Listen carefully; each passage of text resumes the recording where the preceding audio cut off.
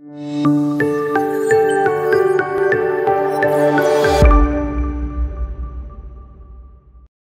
అండి అందరికీ నమస్కారం. Welcome to rainbow TV this is Anusha so ఇంకొన్ని రోజుల్లోనే ఘనీ మూవీతో డెబ్యూ డైరెక్టర్గా ఆడియన్స్ ముందుకు రాబోతోన్న దర్శకులు కిరణ్ కొర్రపాటి గారు ఈరోజు ఇంటర్వ్యూలో మనతో పాటు ఉన్నారు. నమస్కారం కిరణ్ కొర్రపాటి గారు. ఎలా ఉన్నారు? సూపర్ అండి. అసలు నేను ఎలా ఉన్నానని మిమ్మల్ని అడగకూడదేమో. చూస్తుంటే అర్థమైపోతుంది. చాలా బిజీగా ఉన్నారని.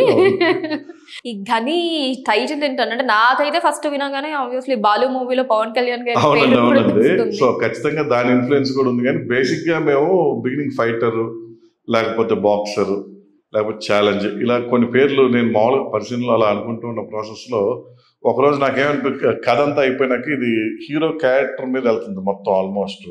So hero character name నేను రాసుకున్నప్పుడు వరుణ్ వరుణ్ అని రాసుకున్నాను మామూలుగా స్క్రిప్ట్ అంతా.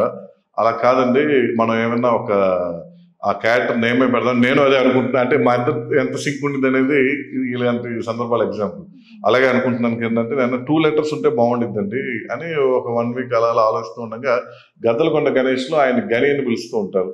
ఒక ఇద్దరు ముగ్గురు క్యారెక్టర్స్. ఆయన అది ఎలా ఉండిద్ది అన్నారు. చాలా బాగుండిద్దండి. ప్లస్ బాబాయ్ గారు ఆల్రెడీ దాంట్లో గని అని చాలా ఫేమస్ కండి రెండు రకాల మనకి అన్ని రకాలుగా పాజిటివ్గా ఉంటుంది వెళ్ళిపోదాం అని చెప్పని అలా లాక్ చేసాం గని టైటిల్ సో క్లైమాక్స్లో కూడా క్రౌడ్ అంతా అరుస్తున్నప్పుడు కానీ ఆ హీరో క్యారెక్టర్ గురించి గని గని అనేది కొంచెం ఇది కొంచెం వైబ్ బాగుంటుంది అని చెప్పి అది ఫిక్స్ చేసాం మీరు డైరెక్టర్ అవ్వాలని ప్రయత్నిస్తున్న టైంలో ఎప్పుడైనా ఆ ఇండస్ట్రీ వదిలి వెళ్ళిపోదాం అని ఎప్పుడైనా అనిపించిందండి మీకు? లేదు లేదండి. ఎప్పుడు అనుకోలేదు. ఎందుకంటే ఇంకా ఏదైనా కూడా ఇంకా సినిమానే.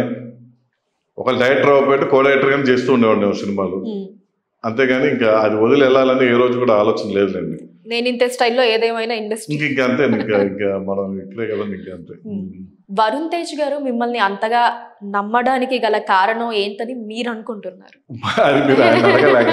అంటే మనకు కూడా కొంచెం ఉంటుంది కాబట్టి అంటే చేయగలడని ఒక బిలీఫ్ కొంచెం ఎక్స్పీరియన్స్ ఉంది. ఈ కథ అంతా అయిపోయినాక కూడా అంటే కథ అంత స్పాన్ ఉందని మాకు రైటింగ్లోనే అర్థమైపోయింది. కానీ ఇప్పుడు ఇన్ని క్యారెక్టర్స్ ఉన్నారు ఇంత స్పాన్ ఉంది అనగానే కూడా ఆయన ఎక్కడ ఎక్కడ కూడా అరవింద్ గారు కథ విన్నాక కూడా లేదు అంక లేదు మామ కిరణ్ చేస్తారు నాకు ఆ నమ్మకం ఉందని చెప్పారు. వాళ్ళిద్దరు మాట కథ చాలా బాగుంది. మరి ఫస్ట్ టైం డైరెక్టర్ కదా ఇంత పెద్ద క్యాన్వాస్ మరి మనం ముందుకెళ్దామా అని అడిగినప్పుడు కూడా హండ్రెడ్ పర్సెంట్ నేను కిరణ్ బిలీవ్ చేస్తున్నా అన్నారు. ఎందుకంటే అంటే ఒకటేంటంటే ఇప్పుడు ఆ సినిమా పట్ల నా థింకింగ్ విధానం ఆయన థింకింగ్ విధానం ఆయనకు ఒక క్యాల్కులేషన్ వచ్చిండొచ్చు సో కిరణ్ ఇలా ఆలోచిస్తారు ఒక సీన్ ఎగ్జిక్యూషన్ ఇలా చేస్తాను ఆయనకు ఒక ఇది వచ్చిండొచ్చు కదండి. అలాగా అంత బిలీఫ్ వచ్చిందండి సో జీరో నుంచి హీరో అనే కాన్సెప్ట్ నేను నమ్ముతానని చెప్పి మీరు చెప్పారు. అవునండి సో ఇలాంటి స్టోరీస్ మనకి చాలా వచ్చాయి కదా. గని. గని ఎలా డిఫరెంట్గా ఉంటుందంటారు? డిఫరెంట్గా అంటే ఇప్పుడు స్పోర్ట్స్ బ్యాక్ డ్రాప్ అనగానే బేసిక్ టెంప్లెట్ ఏంటంటే జీరో నుంచి హీరో ఆర్కే ఉంటుంది. మామూలుగా. కానీ ఆ గని అనే క్యారెక్టర్ తను ఎందుకు బాక్సర్ అవ్వాలనుకున్నాడు? అది స్పోర్ట్స్ గేమ్ పట్ల ప్యాషనా లేకపోతే తన పర్సనల్ లైఫ్లో ఏమైనా ప్రాబ్లం వచ్చి ఎంచుకున్నాడా? లేకపోతే మదర్కి ఎందుకు మదర్ వద్దంటున్నా కూడా ఎందుకు చేశాడు? తన ఎమోషన్స్ ఒక ఫాదర్ లేయర్ ఉంది ఒక విలన్ లేయర్ ఉంది తర్వాత ఒక కోచ్ లేయర్ ఉంది. ఇలా డిఫరెంట్ అవన్నీ ఒక కమర్షియల్ బ్లెండింగ్ జరిగిందండి గనిలో.